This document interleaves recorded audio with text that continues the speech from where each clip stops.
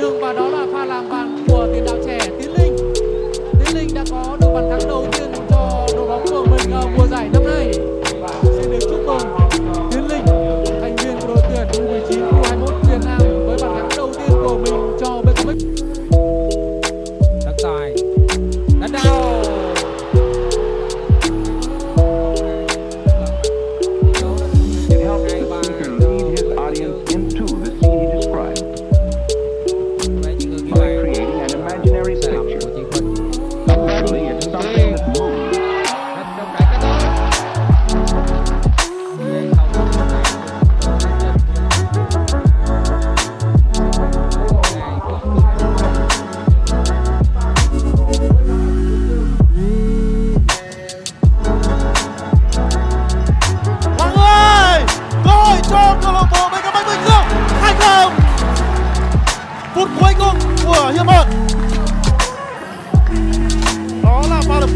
cầu thủ chúng tôi đã nhắc tới khá nhiều ở đánh nhau. Tỷ số được nâng lên là 2-1 cho các cầu thủ BKMX Bình Dương.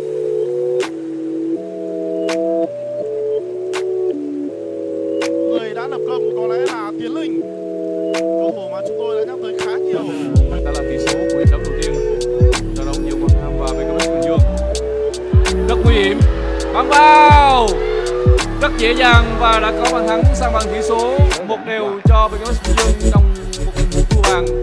Khá đáng tiếc đối với các cầu thủ chủ nhà. Người ghi bàn là số 22 Nguyễn Tiến Linh. Vẫn là Tanidis Chuyền bóng. Wow!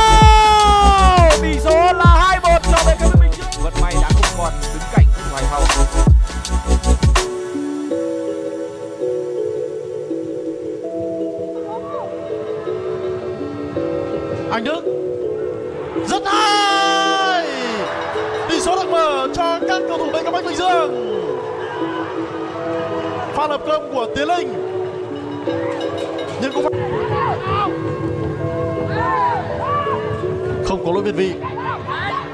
Đánh nhau. Tỷ số được nâng lên là 2-0 và lại là Tiến Linh như chúng tôi đã nói đầu trận, được phản công của các cầu thủ BKM Bình Dương Văn Vũ. Vẫn là Văn Vũ. Dứt điểm. Tỷ số là 3-0 Tiến Linh. Tiến Linh đang hoàn thành cú hat-trick của mình ở trong trận đấu ngày hôm nay. Rất đơn phản xạ sau cú dứt điểm của cơ bộ Sài Gòn và hiệp hai là tình huống thú vị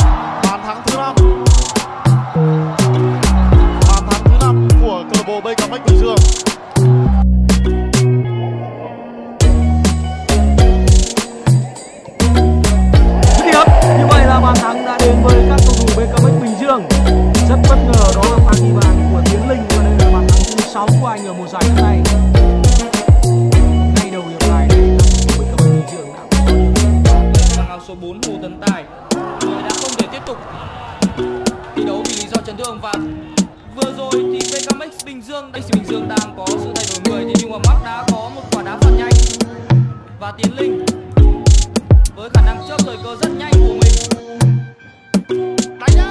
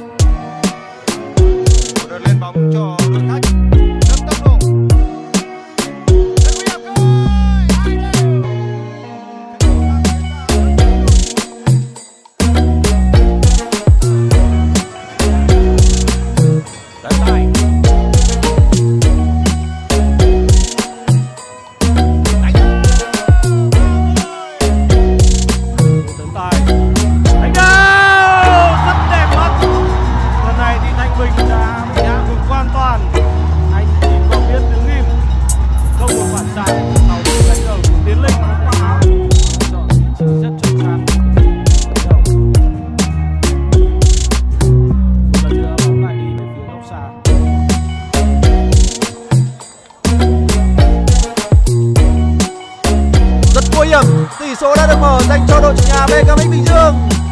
Người ghi bàn đó là Tiến Linh, một cái tên hết sức quen thuộc. Mùa giải năm nay, và công chuyển rất tốt của Tiến Linh. Đô không tốt.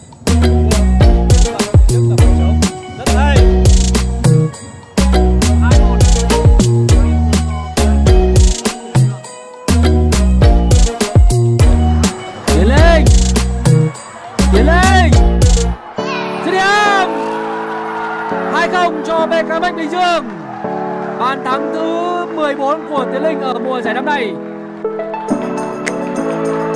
Tiến lên! Rất chính xác 15 pha lập công. Ờ, Ở mùa giải vô địch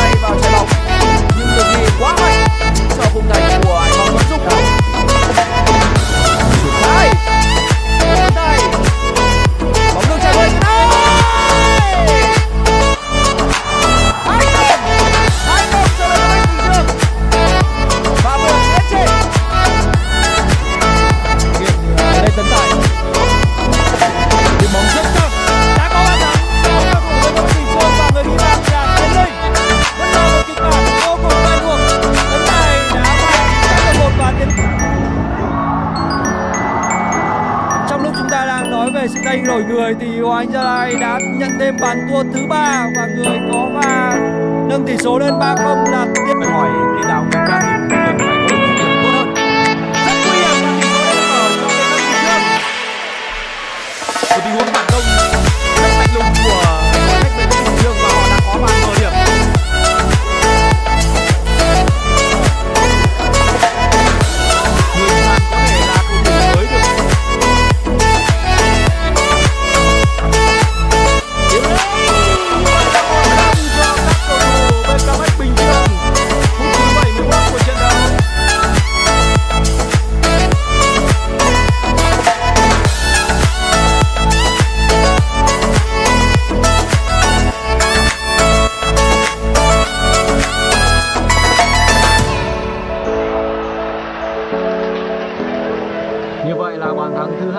đến với các cầu thủ BKMX Bình Dương ở phút thứ 85 của trận đấu.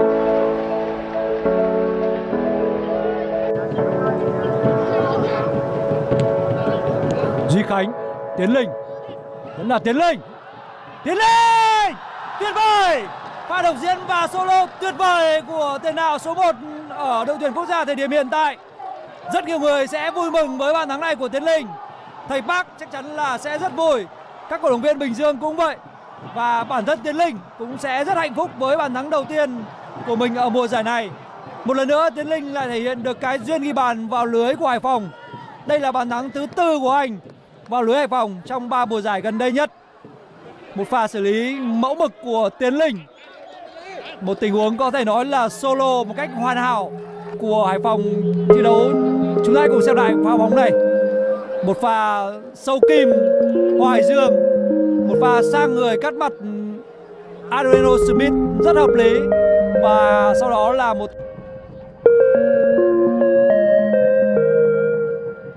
đá nhịp nhàng. Dứt điểm. Một đều cho BKB Bình Dương. Đó là pha ghi bàn của Tiến Linh.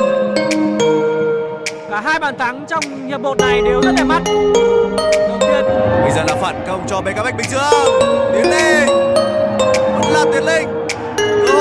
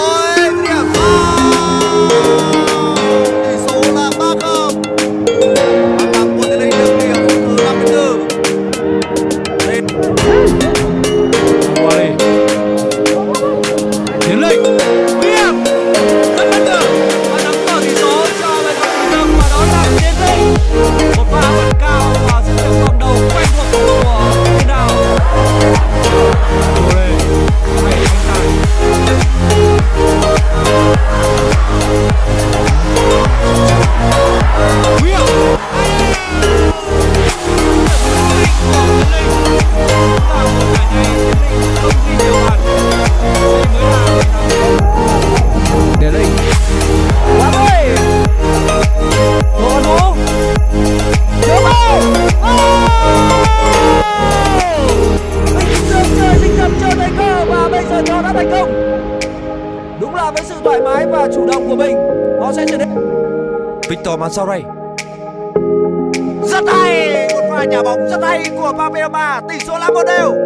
Không ai khác, Tiến Linh là người sẽ mang tỷ số cho BKMX Bình Dương. Một pha phối hợp chấp choáng về cánh phải của BKMX Bình Dương. Và những như chúng tôi đã cảnh báo không thể chủ Và chạm bóng đầu tiên của Văn Vũ là hơi dài Vẫn còn Roma